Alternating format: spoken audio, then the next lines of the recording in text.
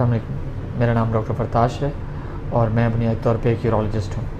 मैं college of physicians and surgeons का fellow हूँ और आज जिस मौजू पे मैं आपसे बात करने जा रहा हूँ, वो है पिनाइल कर्वेचर या उज़व तनासल का टेढ़पन।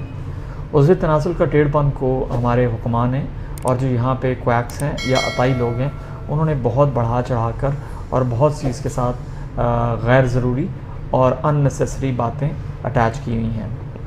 मेरे पास मरीज़ आते हैं और मुझसे पूछते हैं कि डॉक्टर साहब टेढ़पन से क्या असर पड़ता है? तो मेरा अगला सवाल ये होता है कि आपको टेढ़पन कब से है और आपका टेढ़पन कितना है?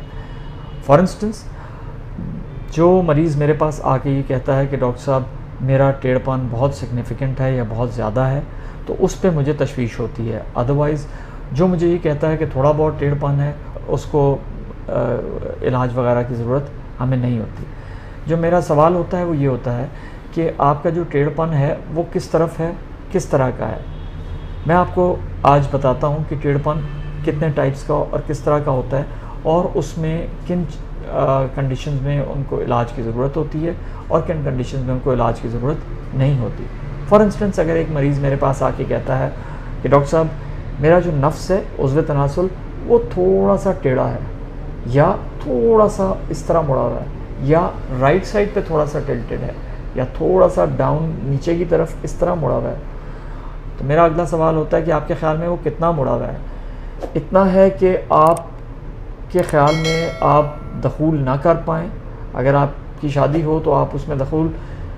तो बिलमूम उनका जो जवाब होता है, वो कहता, वो होता है कि डॉक्टर साहब, ऐसी कोई बात नहीं है। जो साइंटिफिक एविडेंस या जो साइंटिफिक चीज़ है, इसमें वो ये है कि अगर आपका टेढ़पन 15 से 20 डिग्री से कम है तो फिर आपको किसी इलाज की ज़रूरत नहीं है। दूसरी जो अहम चीज़ है कि एक टेढ़पान होता है जो जड़ से हो। मतलब ये अगर आपका पेट है और आपका उज़व तनासुर उसके साथ लगा हुआ है तो अगर आपका टेढ़पन इस तरफ़ पूरा झुकाव है तो इस ये और है।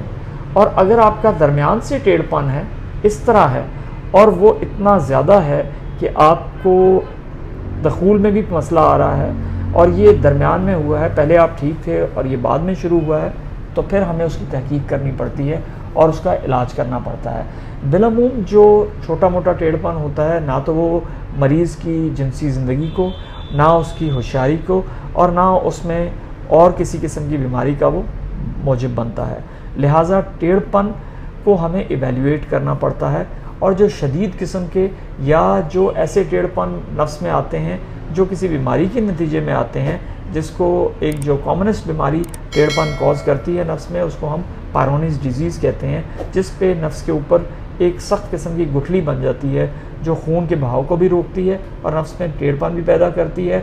और बेलमूम वो नफ्स में दुखाव या दर्द का भी बायस बनता है जब होशियारी आए।